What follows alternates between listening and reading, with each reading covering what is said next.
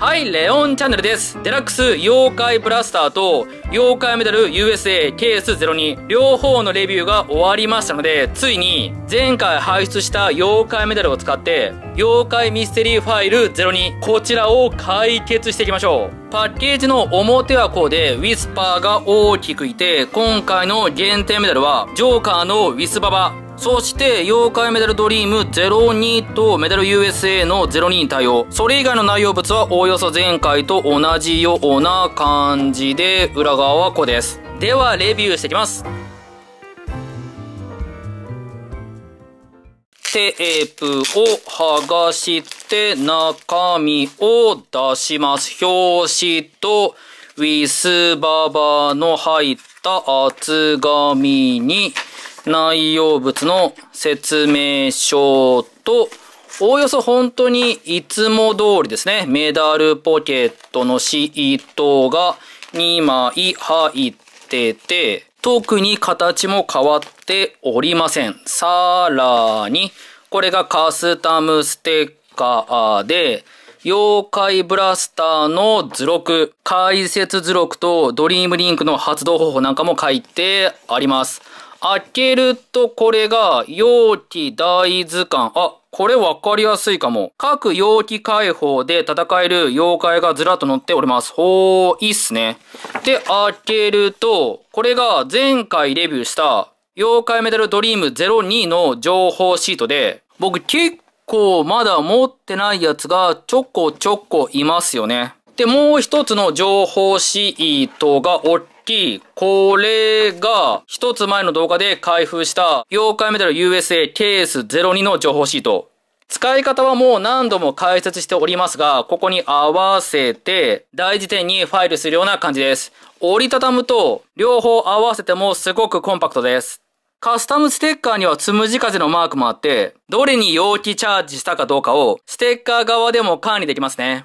そしてつむじ風のミステリーを解く前に、ジョーカーのウィスババ、こちらの妖怪メダルを確認しましょう。僕の好きなウィスパーの新妖怪メダル来た。ジョーカー、ウィスババ。このような絵柄になっております。相変わらずウィスパー関連は特別感ありますね。では、友達召喚。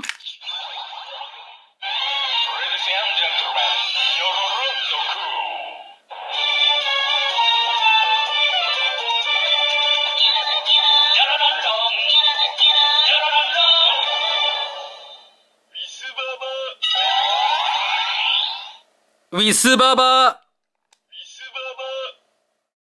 では、いよいよ、つむじ風のミステリーも確認しましょう。まずは、この情報シート、妖怪メダル USA02 の方の情報シートの裏側が、ミステリーファイルのヒントになってて、こちら側が、細かい遊び方解説ですね。つむじ風のミステリーを解決せよ。ミステリーな妖怪を探せ。左のメリケン妖怪メダルの中にデラックス妖怪ウォッチドリームをパワーアップさせてくれる妖怪がいるのでウィッス。ウォッチにメダルを入れて探すのでウィッス。ということで、やっぱりパワーアップには USA02 のメダルが必要でしたね。で、遊び方はここの妖怪ウォッチマーク。あの、素材が違って、明らかに YG チップが入ってそうな感じなんですが、ステップ1、ドリームリンクマークの上にデラックス妖怪ウォッチドリームを近づけてサーチボタンを長押し、ミステリースタート。まずは付属のウィスババを入れよう。ほう。これで一人目で、裏面の操作ファイルを読んで、デラックス妖怪ウォッチドリームをパワーアップさせてくれる妖怪メダルを探そう。5体の妖怪を探し出すと、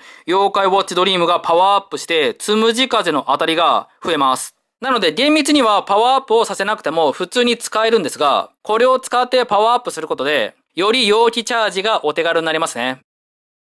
では、妖怪ブラスターから妖怪ウォッチを取って、電源を入れ直して、ドリームリンク乗せて、サーチボタンを長押し。お、来た。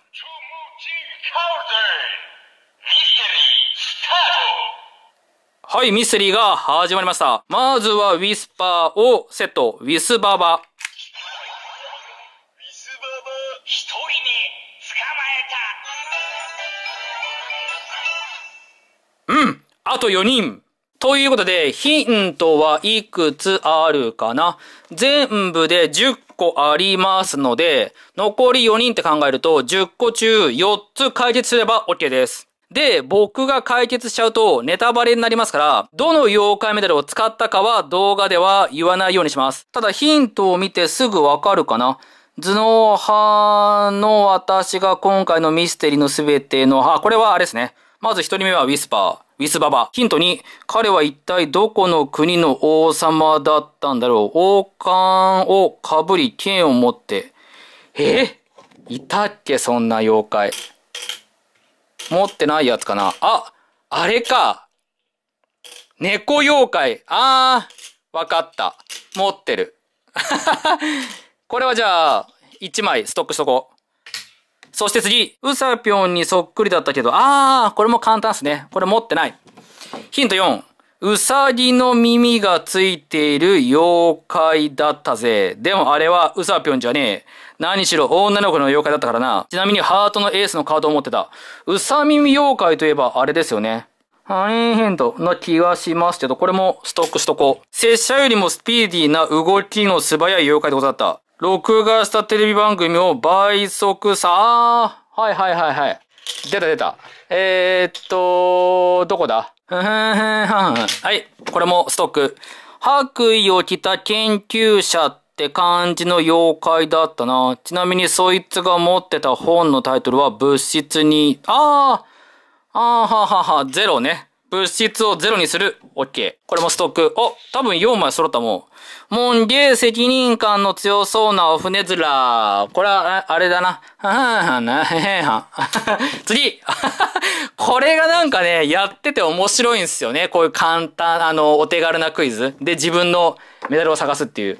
ただ、この、これを解くためには、妖怪メダル USA02 を買わないといけませんから、その辺ちょっと課金要素があると。食事にこだわりの強い妖怪だとミャウ。うーん。牛ででっかいスプーン。あー、あれだ。結構ダブったやつ。はい、次。バットな雰囲気。あ、もう分かった。バットな雰囲気ったら、はは、はははは、はははや。あー、オッケー。いや、俺が最初に会った時は、コテンパンにやられた妖怪だったけど、最近会ったら立派なボクサーに進化したよ。これわかんない。あー、ははははなはははは。妖怪の名前言わないとか言ってね、もう半分言っちゃってる感じね。はい、OK です。わかりました。えっ、ー、と、とりあえず、僕の持ってる中からは、2、1、2、3、4、5、6、7、8。あ、8個。1個を除いて、8個の妖怪がおそらく揃いましたので、これでドリームリンクしましょう。では、2人目。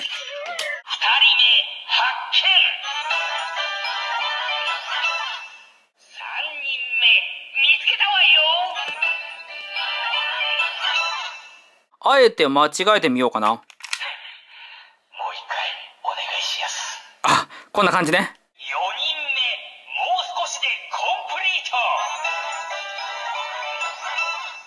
次で最後。5人目、これにて一件落着。トム・ジー・カウデああ、洗濯物飛んでた。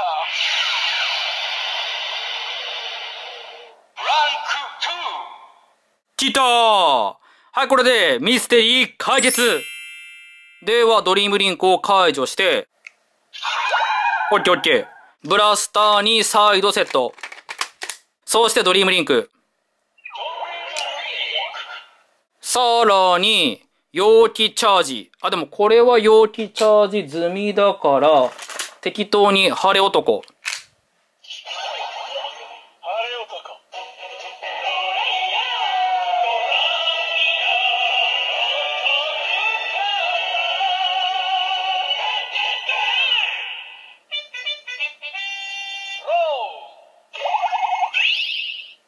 そしてチャージ。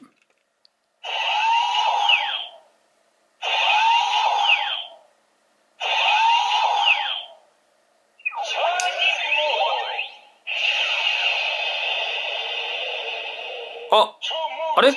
当たりが増えてる？いけ前はここだけですよね、当たりが。それが2個になってる？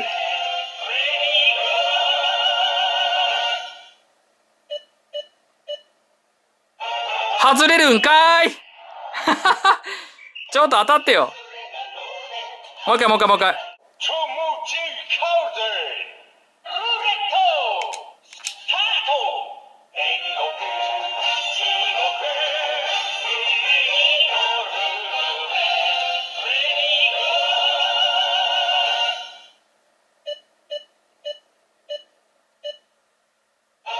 あれ？あれ？ちょ、これパワーアップしてる？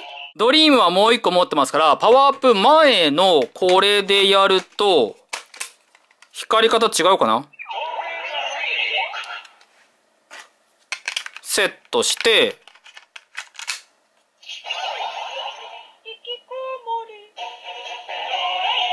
引きこもり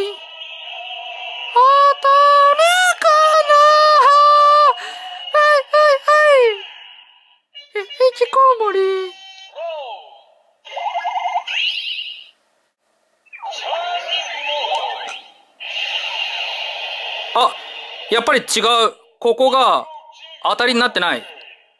なので、当たり率は確かにアップしてますね、こっち。なんですけど、2回連続で外れたから。運命のルーレレレレ歌詞がわかんない。どてって当たった当たるんかいパワーアップ前の方が当たりやすいっていうね。まあ、たまたま。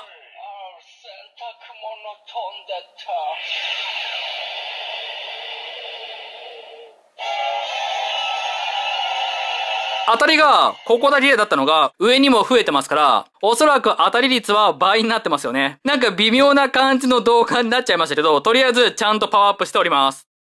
はい、ということで、妖怪ウォッチ、妖怪ミステリーファイル02、つむじ風の事件簿を紹介しました。やっぱり前回のミステリーファイルと一緒で、これ単体では妖怪ウォッチはパワーアップしなくて、同時発売の追加のメダルが必要ですけど、それでもミステリー解決は やっぱり楽しくって、別にパワーアップさせなくても問題ないですけど、メダルをたくさん集めてる人には、追加でこういう遊びがあるのは楽しいですね。なぜかパワーアップ後やたら外れましたけど、とりあえず僕の妖怪ウォッチはさらなるパワーアップをして、つむじ風妖気の当たり率も上がりました。以上、妖怪ウォッチ、妖怪ミステリーファイル02、つむじ風の事件簿の紹介でした。出てこい、ビスババ妖怪メダルセットオンこれ楽しい。ドライヤー当たるかな？チェイチェイチ